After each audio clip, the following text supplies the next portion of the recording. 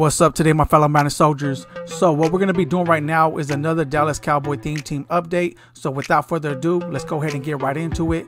So, I know you guys been waiting a long time for me to do this update. I made sure that I got the objectives and everything done in order to get the free Cowboy players that I needed. I got them done probably within the first day or so, but I wanted to wait because I was doing a lot of other things. But anyways, we're getting around to it right now. I'm going to show you guys all the new cards. I already powered them, powered them all the way up to save time, so I can just show you what abilities and so forth I put on them, as well as their attributes and everything else, and just show you how I have the whole new Dallas Cowboy theme team aligned. So let's go ahead and uh, get it started. So with Mike White, so for so look, so this is all a fully Dallas Cowboy theme team. There's no one that never played for the Cowboys or or weren't basically drafted or whatever by the Cowboys. There's some that didn't get the team chem, like for instance, someone like Mike White. You guys made it known to me. I'm gonna be honest, I didn't know that he got drafted by the Cowboys. You guys told me this. I made sure that I went and go look it up just to validate what you guys were saying to make sure of it. So when I looked it up, yeah, the Cowboys actually drafted him. Don't know why they didn't keep him, but they did draft him. And so what we do is because the Cowboys drafted him and he was a Cowboy for a short period of time, we're gonna put him on the Cowboy squad. Don't know why EA don't give him the chemistry, but they give other players like Beast Mode and everything the Dallas Cowboy chemistry or Team Team Chem chemistry, which is not bad. That's cool.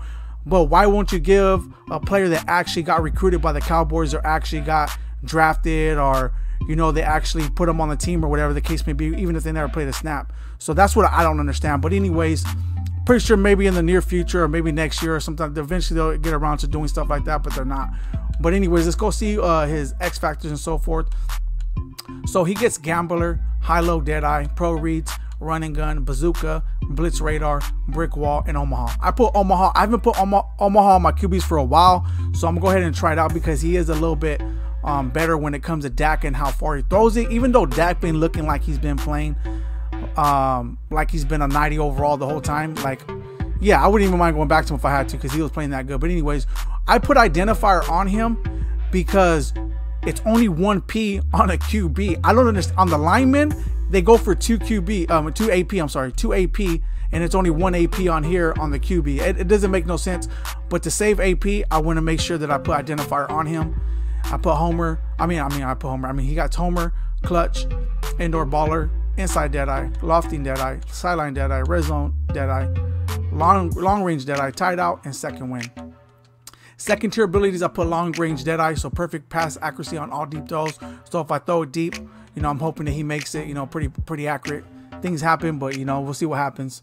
Come back, gift wrapped, pocket Deadeye, set feet lead, safety valve, quick draw. People are saying safety feed elite is is pretty good. I don't know if it's still good. Please let me know. Maybe I'll use it um, down the line or something. He gets clutch, homer, inside dead eye again, indoor baller, identifier, lofting dead eye, long range dead eye, red zone dead eye, second wind, tight out, sideline dead eye, and recuperation. So that's second tier abilities, which is actually pretty good. I know there's other QBs that get a lot better, but you know what though? I will say right now, his power up was only going for 3K when I bought it. I know originally he was going for like 20, 30K or even more when he first came out. It's low right now. I was able to buy it at cheap and we got the card for free. Besides me just powering him up, which cost like a thousand training or something like that. It was very cheap to get this guy. So for, for that being said, this is a pretty decent card. Third tier abilities, he gets closer, fearless, pass elite elite. I don't know if these two are. Maybe you guys could uh, let me know if these are these, these are actually worth it. Um, gift wrap, uh, gift wrap, comeback, threat detector, pocket dead eye, which I put on them. Perfect pass accuracy while throwing from the pocket. Hopefully that works. Quick draw, um, safety valve, clutch, sleight of hand, set feet lead, homer, identifier, indoor baller, long range dead eye, lofting dead eye, inside dead eye, red zone dead eye, sideline dead eye, tight out, recuperation, and second wind. So Team Chem, he's only getting Jets. So they, they must have he must have went from the Cowboys to the Jets, even though he don't get the Cowboy cam. Now his attributes, mind you, because he don't get the Cowboy cam, he don't have all the boosts that the Cowboys are able to have. So anyways, he's coming in at 79 speed, 90 throw power, 92 short accuracy, 89 mid accuracy, 85 deep accuracy, 85 throw under pressure, 86 throw on a run, 90 play action, which is actually a real decent car. And he's 6'5". So awareness is 81. Let's see what else. Carry a 70, which is actually pretty decent. All right, so that's it for him. So that's what we have on him. That's what we're going to use when we do the gameplay. I will be having gameplays coming up soon just to let you guys know. The second person that we upgraded was Tyler. He got a new card. He got. I wish there were 89s and powering up to a 90. It doesn't make sense on why they give him 88, but it is what it is. Just happy to have a 89 overall center now. And yes, we did fully power him up. So you guys can see what actually abilities he gets. I'm go ahead and go over them, even though I didn't put nothing on him. He gets Edge Protector, Fool Me Once, Lifeguard, Puller Elite, Unspin, Natural Talent, Tier, tier Proof, and Tough Nut. Second tier abilities, Post Up All Day, Matador, Screen Protector, Edge Protector, Fool Me Once, Unspin. So he gets everything else he gets on the first tier. He don't get identifier or anything else, which is fine, no, because we, we already get on other players. And these are actually the art he gets. I put this one, the Superstar. Eventually, I'll use the Team Builder one. I just wanted to make it a little bit different. And he also gets this one, just, just to change it up. See his attributes.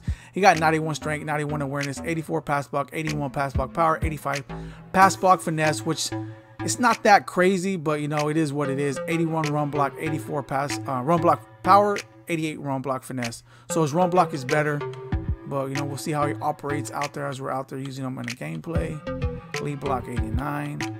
So it's pretty decent. Like I said, it's not all that, but hey, we got to upgrade to our center, so I'll take it. So at anything, he's like the top one that we actually got. But this is the rest of the Dallas Cowboy theme team, just, just so you guys know we have on the squad right here. Fully gooned up. Yes, we will be using Mike White all the way up until we actually get Dak Prescott or another actual. Well, I mean, he he was a cowboy, but one that actually gets the chemistry. So whoever, I mean, whoever we get next, and that's what we'll use. So okay, so the other guy here, Randy Gregory. I think that's okay. So yeah, those two. So we got three new players. So here's Randy Gregory. Let's go ahead and go over his X factors, and then we'll go over his attributes. X factors gets fearmonger, unstoppable force, reinforcement, blitz, relentless, run stuffer, momentum shift, selfless. Oh, first tier abilities. There we go. Adrenaline Rush, BOGO, Extra Credit, Mr. Big Stop, Indoor Baller, Homer, Speedster, Spinner, Swim Club. First, I'm um, second tier abilities, Clutch, Instant Rebate, Reach Elite, Under Pressure, which I put just to see if it works. I don't know. We're going to try it. I haven't used it all year, but we're going to see because all these other ones, I don't feel that they really work great, but I mean, I also don't know either. Ripper, Unpredictable, Unfakeable, Adrenaline Rush, Homer, Extra Credit, BOGO, Indoor Baller, Mr. Big Stop, Speedster, Recuperation, Swim Club, and Spinner. Kim's, he only gets the Cowboy Chem. Font, he gets the Team Builders, he gets this Power Up, and then he also gets his gold card that he gets. So whatever you guys want to use. What I do like about this card, he is pretty fast than our last ride in. Even though our last ride in is a 90 overall, and then we also got Everson Griffen, which is 91, and he's a goon. He's still on the squad, but I took the other one out just so you guys actually know, right? Which is, let me go ahead and uh, compare, just to show you guys. Where is he at? Marcus Spears. I do like Marcus Spears. He plays pretty decent. His play reg, you know, his blockchain power move is, is a lot better. So he does make, but he's not that fast. So that's why I took him out for now if he actually has all his training, he's actually even though it says now right there because he's powered up, I might just use him for training and then later on I'll probably get him back.